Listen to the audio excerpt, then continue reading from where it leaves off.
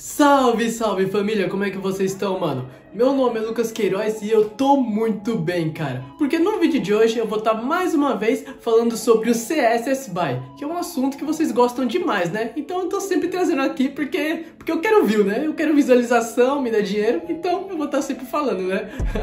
Tem que ser sincero. Só que no caso, no vídeo de hoje eu vou estar tá falando especificamente sobre as formas de importação. Vou estar tá comparando as formas, né? Comparar o CSS BY, que é um assunto que está bem alto ultimamente, principalmente no meu canal, com as outras formas clássicas de importação, como por exemplo a Shopee e o AliExpress. Então a gente vai comparar as duas plataformas e analisar a praticidade, o valor e esse tipo de coisa, para no final poder dizer qual das duas formas mais vale a pena de trazer os nossos produtos importados aqui pro Brasil. E eu acho que é bem importante a gente estar tá falando sobre esse assunto agora, porque tipo, agora no governo do Lula, eles meio que mudaram algumas leis sobre esse negócio de importação e tal, porque antigamente produtos até 50 dólares até que passavam de boa, sem taxa nenhuma, então era meio que tranquilo. E 50 dólares é tipo, se eu não me engano, acho que 400 reais, é isso?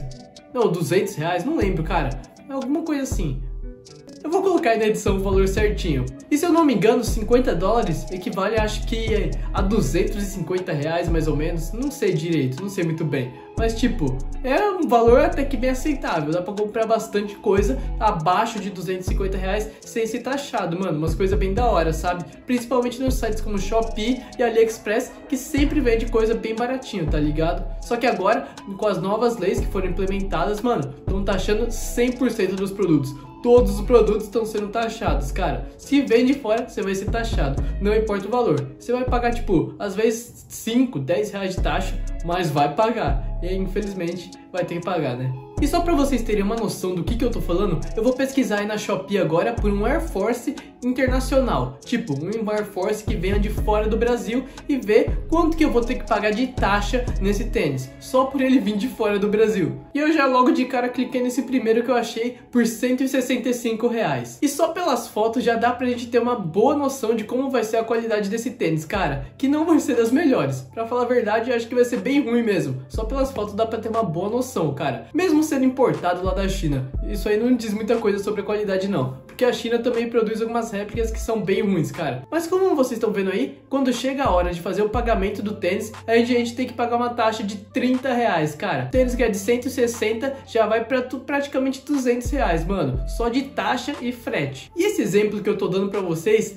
tecnicamente ainda tá bom, porque eu vi alguns casos da, do pessoal da área de tecnologia, assim, falando sobre essas novas leis, sobre as leis de importação e tal que no caso o pessoal que faz importação de produtos eletrônicos acaba pagando um pouco mais caro, porque os produtos são mais caros mesmo, sabe? Só que tipo, muita gente usa o AliExpress para comprar placa de vídeo, placa-mãe, esse tipo de coisa, esse processador de PC, sabe? Só que, mano, é umas taxas absurdas que os caras têm que pagar, velho. E tá, tipo, muito inviável de trazer pelo AliExpress e esse tipo de site agora. Tipo, o valor do produto praticamente duplica, cara. É como se você estivesse comprando dois daquele mesmo produto só por causa das taxas, mano.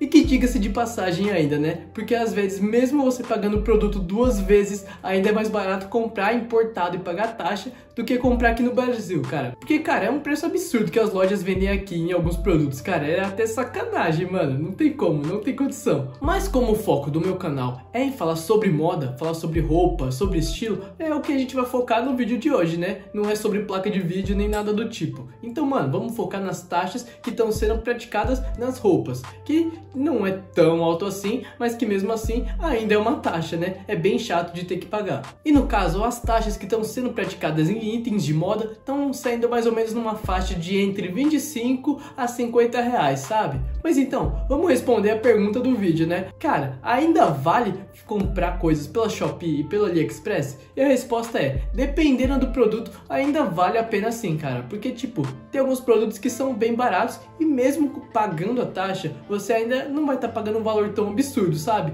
Agora tem alguns outros aí e eu vou estar tá deixando alguns exemplos aí de fundo para vocês. E às vezes, cara, você pega uma calça de, sei lá, 130 reais e você vai ter que pagar mais 50 reais de taxa. Mano, a calça vai sair por, tipo, 180 reais. Uma calça só, cara. É, tipo, muito inviável isso. vale muito mais a pena, sei lá, você ir na Zara comprar uma calça que vai estar tá saindo mais ou menos nessa faixa de preço, sabe? Entre os 200 reais, você vai conseguir achar uma calça da hora lá até e que tá bem na moda, né? E não vai ser de uma qualidade tão vagabunda como se fosse no AliExpress ou Shopee, que normalmente algumas calças que são vendidas nesses lugares não tem tanta qualidade assim, sabe? Quando você vai em uma Zara da vida, uma Renner, sei lá, é uma qualidade um pouco mais garantida. Até porque você pode pegar lá na mão e experimentar, né? Tem esse fator que dá uma vantagem ainda para você comprar nas lojas físicas e pessoalmente, né? Ou até pelo site, que hoje em dia é bem mais forte do que comprar pessoalmente, né? Mas agora vamos falar sobre o CSS BY, que é o que todo mundo quer ver também, né? Muita gente deve ter assistindo só para saber sobre o CSS BY, que é justamente o lugar por onde eu fiz as minhas últimas importações. E se você quiser assistir os vídeos aí que eu mostro o que foi que eu comprei, vai estar tá aí no card em cima. Mas só para vocês tomarem um leve spoiler, tá aqui ó. Comprei logo esse Air Force aqui por simplesmente 70 reais. É, tipo, só o tênis. Isso sem tirar o valor do frete, que acaba aumentando bastante o valor do produto, né? Mas, cara, só o produto por 70 reais, cara.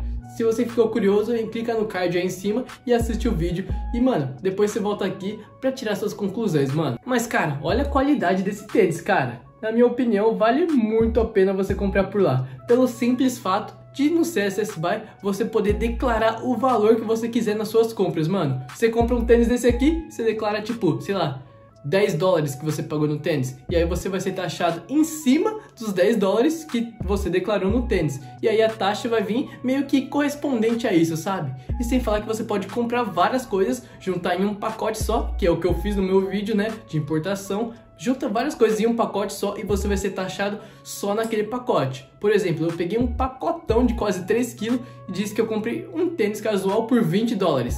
E aí eu fui taxado em 58 reais só naquele pacote, cara. Agora, quando você compra na Shopee, AliExpress, você paga uma taxa para cada produto que você compra. Agora, por exemplo, você vai comprar uma calça, um tênis e uma camiseta na Shopee. Você vai ser taxado nos três, uma taxa individual nos três, cara. Pensa, pagar 20 real na de taxa na calça, mais 10 na camiseta, mais 30 no tênis e assim vai, cara. Tipo, você vai pagar praticamente 100 reais só de taxa, cara. Mano, é muito inviável. Agora, pelo CS, mano, você compra muito mais coisa por um preço muito mais acessível e paga a taxa uma vez só, né? Então, na minha opinião, o CSS BY ganha de lavada de qualquer Mano, qualquer site de importação, a Shopee, AliExpress, Shein, mano, todos esses sites aí são pereba perto do CSS BY, mano é muito bom. E caso você tenha dúvidas de como comprar por lá, eu também já fiz um vídeo ensinando a como importar pelo CS, que vai estar tá em cima também, aí na descrição, vai ter algum lugar. Você vai achar alguma hora aí.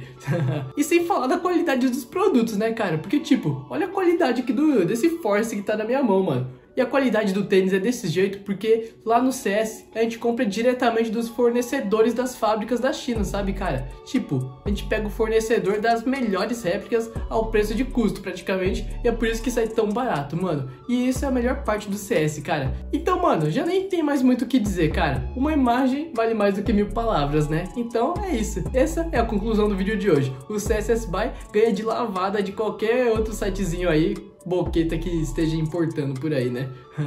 Mas é isso, família. Espero que vocês tenham gostado do vídeo de hoje. Então, se vocês gostaram, mano, já deixa aquela sentada da hora no like e se inscreve aí no canal, porque a gente já bateu 4 mil inscritos, mano. Estamos crescendo muito rápido esse ano e eu tô muito feliz com o resultado que o canal tá tendo. E, mano, é isso. E também segue no Insta, né? Que eu sempre esqueço de falar no final, que é lcz.queiroz, não, lczqueiroz, que eu também sempre erro o meu Insta, e o meu outro Insta de tatuagem, que eu também sou tatuador, que é lucasqueiroz.tatu. E é isso, obrigado por assistirem e é nóis. Valeu, falou!